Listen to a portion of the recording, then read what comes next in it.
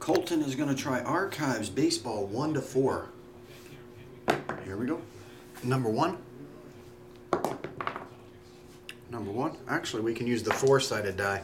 You're doing number 1, but your other box will be number 2. 2 2. Top 2.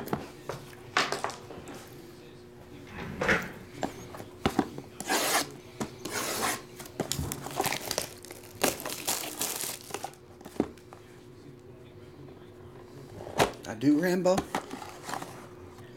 This one is 14 of 24, Charlie Blackmon's War. 14 of 24, Topps Chrome. That Chrome is 2015. Autograph buyback. And no one of one. Number two, 66 Topps Chrome rookie Trevor Story.